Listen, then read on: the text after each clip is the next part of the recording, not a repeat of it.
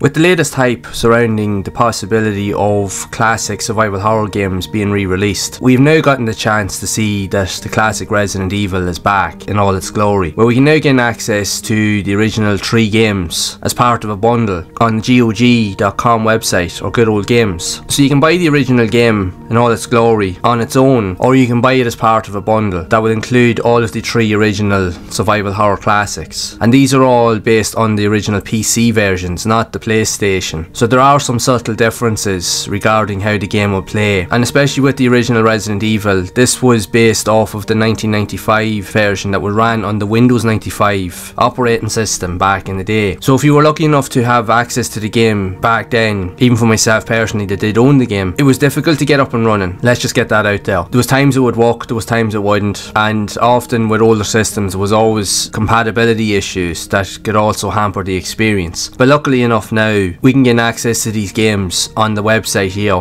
They're all DRM free and they're all fully compatible with the latest operating systems, so there will be future updates with regards to allowing them to make them playable with regards to any future operating system updates. But the one thing you'll know straight off the bat is that these games, because of game preservation, they play, look and feel exactly how they did back then, which in many ways is a good thing because yes, we do have access to play games on emulation these days, and even with modern systems where we can upscale the graphics, all of the textures, and all of the features. But for most players out there, they just want to play the game in its original format without any of those extra tweaks or elements. They just want to play the game as it is. So now you have the option to do that. And to make it even more beneficial and more enjoyable to a degree, is not only is the game compatible with the most modern operating systems, you can also utilize any controllers that you have at your disposal. You can use the likes of your Xbox controllers, anything that you have compatible that will work with your PC. You can also use them to play the game. So that provides even more avenues in which to play the game, which is really, really cool. Because when we look at game preservation, in many ways, the only way that we could gain access to it was through the use of emulation, which unfortunately not everybody has the ability to understand how to get emulators to work. Plus,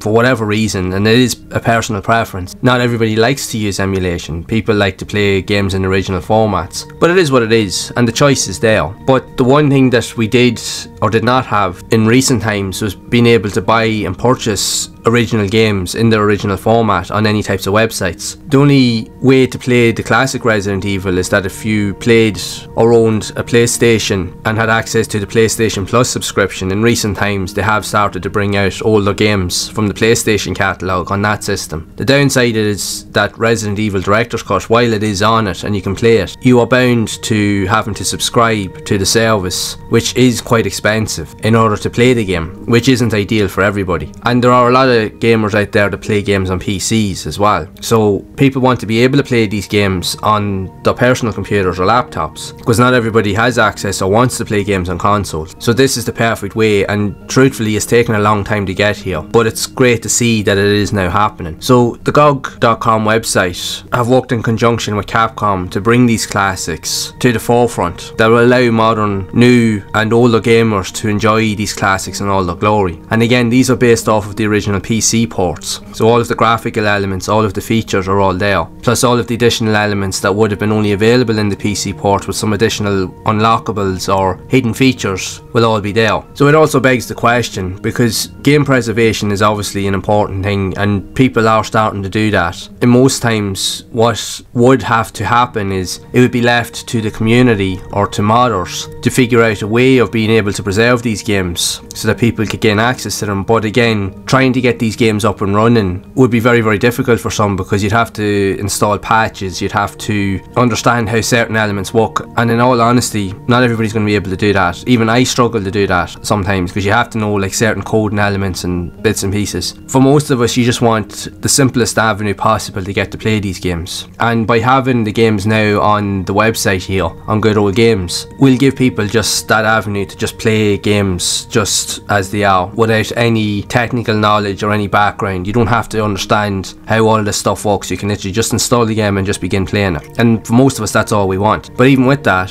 by having these games now on the website, it has also opened up the possibilities for modders to start coming in and to start creating their own concepts. As you can see here, where people have already been begun modding, adding in playable versions of Barry Burton, so that you can play the game in different ways. And now that they can do it in a legal way as well, without having to worry about fears of getting in trouble. So they don't have to worry about that now at all. So that is another really cool concept behind it, that it opened up the floodgates now for people to really get creative with this older technology. Because for many of us, lots of gamers would have loved to play as Barry Burton or even Rebecca Chambers in these games back in the day, and now you will be able to do that if you know what you're doing. It's just really cool. Like for me, as a Resident Evil fan, like I love the original three games. If anything, they're my favourite games in the entire series, and as I've said before, Resident Evil 1 is my favourite game of all time. It always has been, it always will be. So much to a point that I would go out and try and buy different versions of the game if at all possible, which I did back in the day when I was in college. I went and bought the PC version to try and get it running. Now, I did get it running to a certain degree, but again, because at the time, this is back in the early 2000s, I was running on a Windows XP computer, and while it worked to some degree, it wasn't as fully compatible as I would have liked, and the game would crash or would cut off at certain points, so you can never really fully get the game working the way that you intended it to work. At least now, I can play that version here and not have to worry about any of that or any of those gripes. So if that's not a reason to play the game now, I don't know what is. And the fact is now,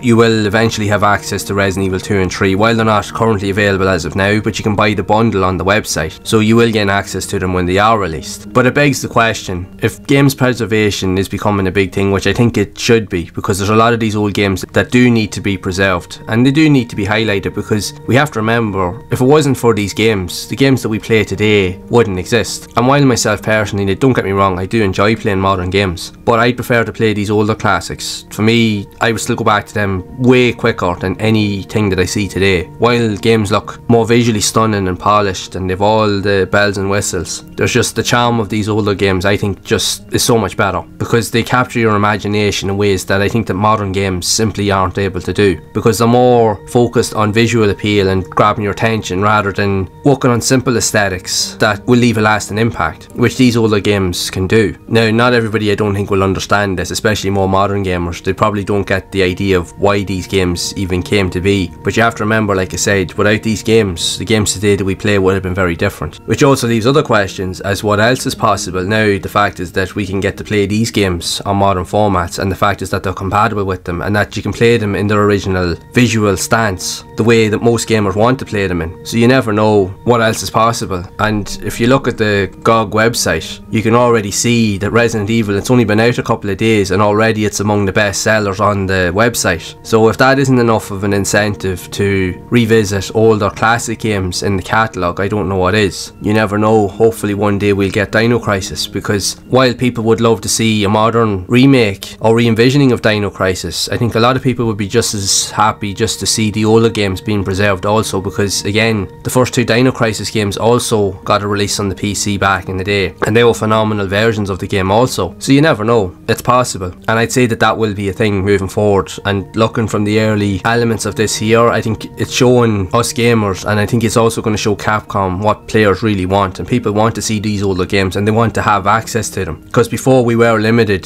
to either playing games on emulation or having to find different workarounds to get games to work. But at least if we put these older games in places that we can easily find them, sure, it's a no brainer really at the end of the day. And if anything, you'll make a lot more money from it. But you never know, we'll see. I'd love to see a lot more of these older classics get a re release on these modern platforms, especially Dino Crisis, among a few others. Hopefully. But still, Resident Evil, I generally think, is one of the best games that could be done in this format. Even if you look back, even with the Tomb Raider remaster that came out only a few months back, that there also has done quite well in recent months. Because as we all know, Tomb Raider was a massive fan favourite on consoles and even the PC platform back in the day. And originally, that and Resident Evil were all released in and around the same time back in 1996. So it's of no surprise to see a lot of these older games being brought back out in their original format. And in fairness, it's the best way to play them, still, even to this day. They're a fantastic piece of gaming history that I think anybody will enjoy, and they're just as much fun to play today as ever. And I just think the Resident Evil series, and even the first game in particular, is a very, very important game in terms of video games preservation. And if you want to know why the original game is so important, this next video will show you and explain the elements as to the impact it made on me as a gamer and how it changed everything moving forward and how it did for a lot of other people.